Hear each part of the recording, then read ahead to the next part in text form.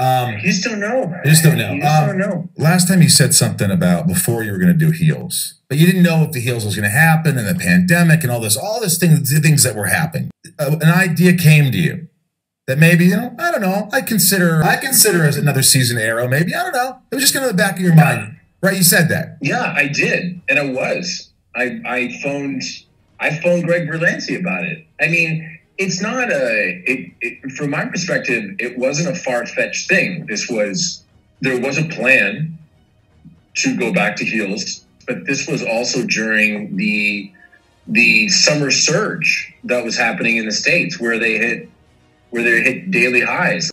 It, it's you know I'm back in British Columbia. It feels so familiar after eight years of shooting Arrow, and I'm also you know looking around at the fact that I'm thinking to myself, you know, if everything goes to, why don't we just do another season of Arrow?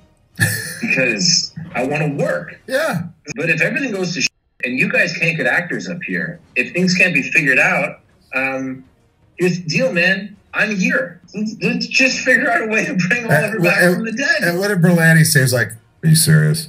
Yeah, he goes, Are you serious? And I go, Yeah, of course I'm fucking serious. Again, I hope it doesn't happen. But I mean, can we at least put it like on the radar?